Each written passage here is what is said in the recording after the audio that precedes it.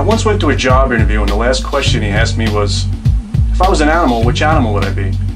He caught me off guard. I just said the first animal that came to mind, which was honey badger. I never heard back from them. Then I started to think.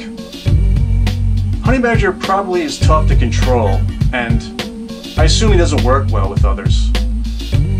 Honey badger doesn't give a fuck.